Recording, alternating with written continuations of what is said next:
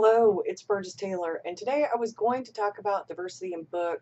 I got so far as to almost finish the editing, and then I realized, you know, that's not what really was in my heart to talk about. So today's coffee chat is going to be about self-care, about self-love, and um, yes, um, let's get started. Grab your cup of coffee, or your cup of hot tea, or hot cocoa, or hot apple cider, or your glass of wine, or chocolate milk, or whatever your preference is, and let's get started.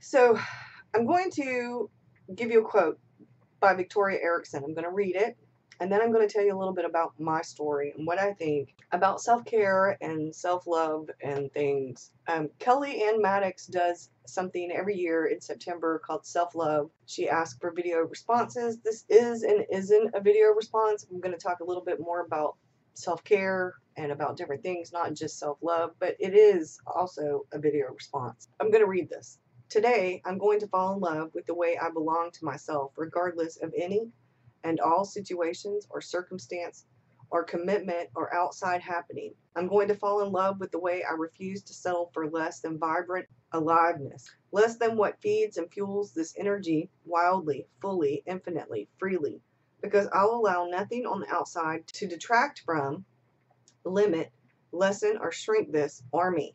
So the mind is a powerful tool. You can use it to hinder or help, to praise, to criticize, and I've done all of those. I've hindered myself as well as helped myself. I've been my own worst critic to the point where I've even criticized, uh, made excuses, downplayed when someone else praised me or complimented me. So I wrote in my journal, today I'm no longer going to accept those negative thoughts or actions. I refuse to be my own worst critic. If someone compliments me, I'm going to smile and say thank you. If I make a mistake, I'm going to learn from it and pat myself on the back for trying. From now on, I will go to bed with a positive thought and wake up with a positive thought. I'm going to remember that I am more than good enough, that I am special, that I'm unique, talented, worthy, loved, and loving, lovable, that I am determined, strong, brave, kind, passionate, and capable, that I am me that I can just be me. If you think about like self love, sometimes we have to remember what we were before before the world told us what we were supposed to be. If you are from my generation and I am 49 years old, then you know that we were just kind of really getting started with women's lib. I mean, women didn't get the right to vote until the 20s. I was born in the late 60s. So women had only been voting for like 40 years, 40 something years when I was born my mom comes from the generation that men worked, women stayed at home mostly. My mom did work on and off, but I was raised to believe that you get married, you have children, you can work or not work depending. Um, but your main job, your main focus was your family, your husband, your spouse, your kids. Those were your main focuses. If you were to think about yourself, then that was actually kind of selfish. And that's not a good thing because, especially as a wife, as a mother, as a daughter, as a friend, as a, a whatever you are, you have to have time for me. You have to have me time. You have to have time for yourself. You have to take care of yourself. You have to praise yourself because sometimes nobody else is going to do it for you. There are other people who will praise you and you need to be able to accept that praise. But I had a really hard time. I was in emotionally uh, mentally abusive relationships prior. Um, not every single one, but there were a few. I lost my father when I was really young, um, when I was seven, almost eight, so there were some abandonment issues. I have depression and anxiety along with ADHD, so sometimes I don't take good care of myself because of the depression. Sometimes because of the anxiety, I overanalyze things and I exaggerate the feelings of negativity because of that anxiety. And I have to catch myself sometimes. I have to make a point to have some time alone to relax, to take care of myself, to do things for myself that give me that positive energy to reinforce my creativity, to reinforce my self love. And I think it's really important. I've talked about self care during NaNoWriMo. I talked about taking my life back in April, losing weight. Talked about walking and morning pages and different things that I am doing to help improve myself and my life, my creativity, things like that. I talked about self doubt. I've talked about depression. And you know, one of the things that I've learned over the last few months, especially over the last few years, is that having a support system, what Julia Cameron calls your believing mirrors, extends past just your immediate circle, but it does include your immediate circle. Uh, my husband is really supportive. I think I wouldn't be nearly as happy and as positive as I am if it weren't for that fact. But I have to get some of that from myself, myself emotionally and mentally um, to be independent as well. When I think about certain things about self care, I think about my spirituality, I think about my mind, I think about my body, um, I think about taking care of different things about me. There are different aspects to me.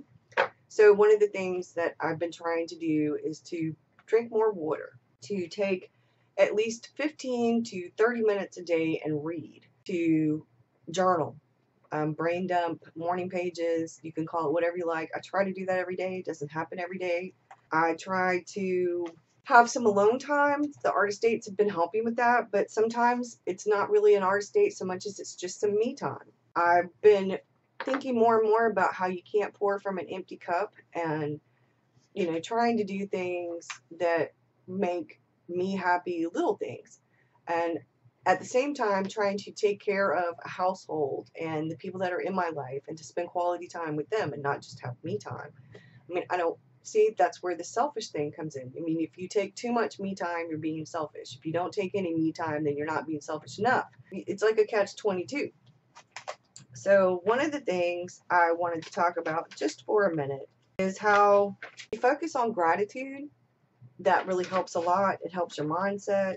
If you think about what you can do, little tiny things like taking a walk or taking a hot shower, a long hot bath, a bubble bath, or um, going to visit a friend, or going to have coffee with a friend, or a dinner date with a friend, going to see a movie by yourself or with your spouse or with a family member, you can think about all different kinds of things. think if you listen to what your intuition, what your gut tells you, if you listen to what your body tells you, if you listen to what your surroundings and all are telling you, if you listen to the cues, you pick up on a lot of different things that maybe you weren't really paying attention to before.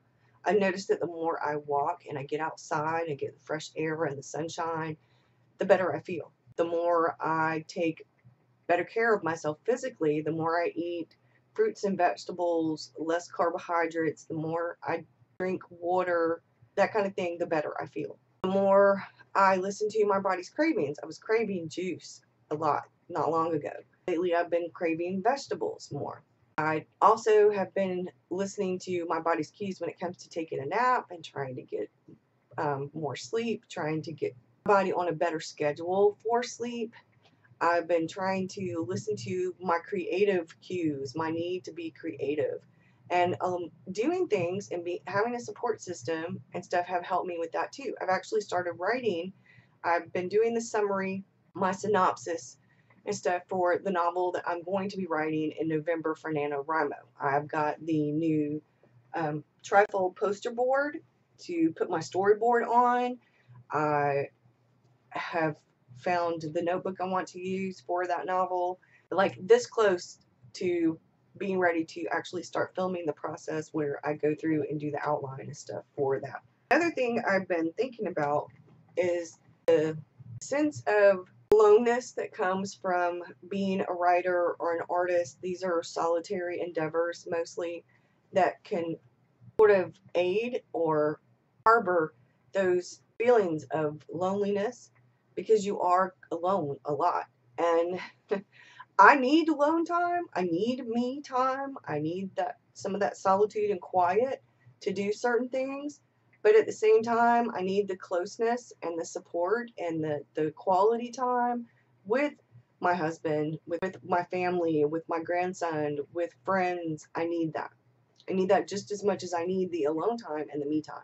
We all have issues, whether it's because we were in a mentally or emotionally or physically abusive relationship before, whether we were um, mentally or physically abused as a child, whether we have depression or anxiety or any other mental illness. It's really important to mind yourself taking one step at a time, just one little tiny step at a time towards that self care really helps. It does. Like I said, the more I get outside in the fresh air and the sunshine, sometimes even when it's raining, sometimes my I need that spiritually to get out when it's raining.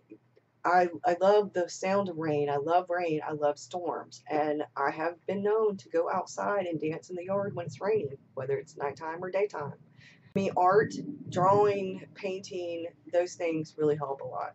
And I think it's important to remember those things.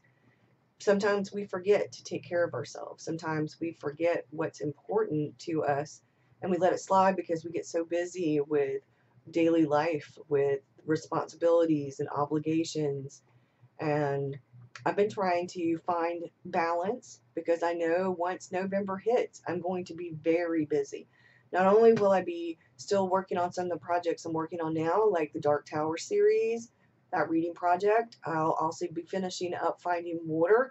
I'll be writing for NaNoWriMo. I'll still be doing blog posts and videos.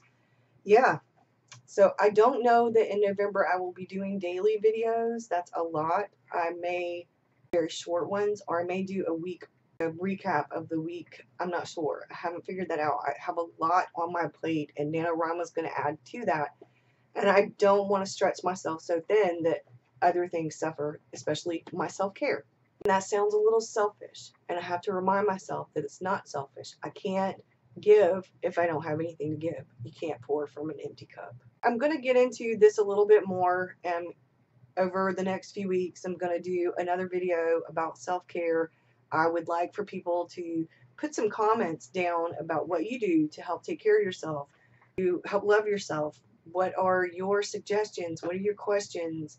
Um, thanks for watching, y'all. Have a good one. Bye.